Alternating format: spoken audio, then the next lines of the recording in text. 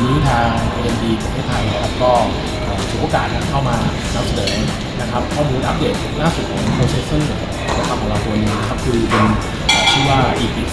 นะครับเป็น generation ที่สองแล้วนะครับคือวันนี้เนี่ยเรามา partner กันกับทาง HPE ก็จะนำเสนอ solution ตัวนี้บน HPE o l a n แพลตฟอร์มใหม่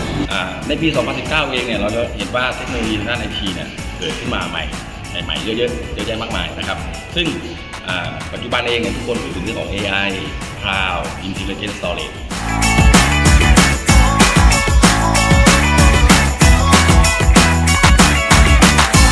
ในส่วนเมื่อกี้นี้จริงๆสไลด์นี้ก็คือสไลด์ที่พูดไปก่อนหน้านี้นะผมอยากให้ดูรถเนี่ยเพราะว่าคืออยากให้เห็นพัฒนาการของเขาเขาทำเจนรุ่นแรกมาเป็น 17 นาโน ตอนนี้เราอยู่ในช่วงเจน 2 ที่เรียกว่าโลม